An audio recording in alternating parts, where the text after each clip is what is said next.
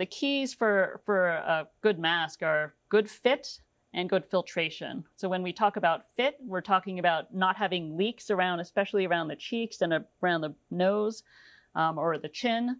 And then with filtration, now we're thinking about upgrading from just your regular old kind of cloth material to something that has a filter in there, something, a type of material that's designed to filter out small particles. Mm-hmm.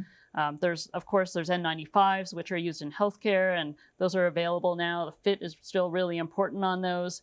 Um, there's also some alternatives from China and Korea called KN95s yeah, and KF94s. That's, that's, what I usually wear just because it fits me well. Yeah, you want to find something that yeah. fits, and that's going to have very good filtration capabilities. So that's going to reduce your the you know if you happen to be infected, it'll without symptoms, it'll greatly reduce the amount of virus you're spreading into the air around you, and it'll protect you also.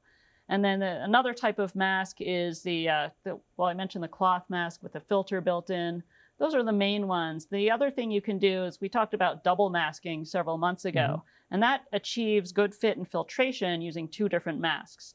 You get the good filtration from a surgical mask, medical type of mask, because mm-hmm. that material, um, melt blown non-woven polypropylene, mm-hmm. uh, is designed to filter out particles really well, better than 95%.